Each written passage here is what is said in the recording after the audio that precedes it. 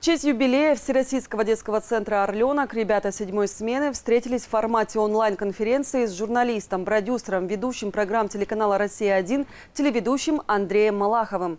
Модератором выступил обладатель двух хрустальных сов и звания «Лучший капитан. Что, где, когда» Алексей Блинов. Подробности смотрите далее.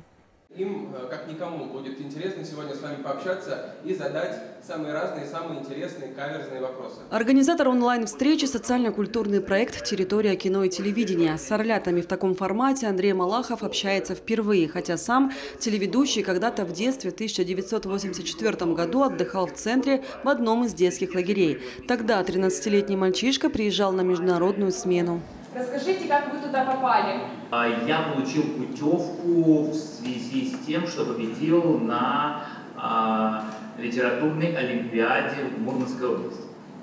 Мне было уже много лет, ну то есть э, немного, а во всяком случае э, мне было уже 13 лет, и я был достаточно переростком.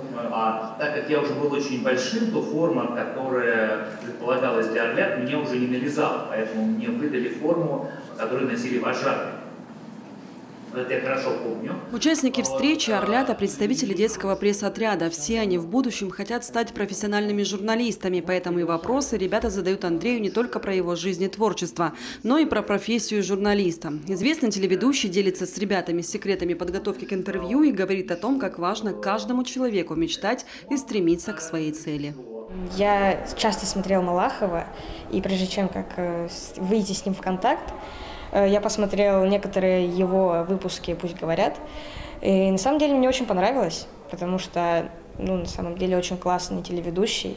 И, скорее всего, поговорить с ним была, возможно, моя мечта. Потому что, конечно, из-за того, что не позволяет данное обстоятельство встретиться лично, хорошо, что у нас есть технологии, можно по видеочату классно. В процессе беседы телеведущий вспоминает орляцкое прошлое, свой отряд вожатых, первую любовь и о том, почему тогда его не посвятили в Орлята.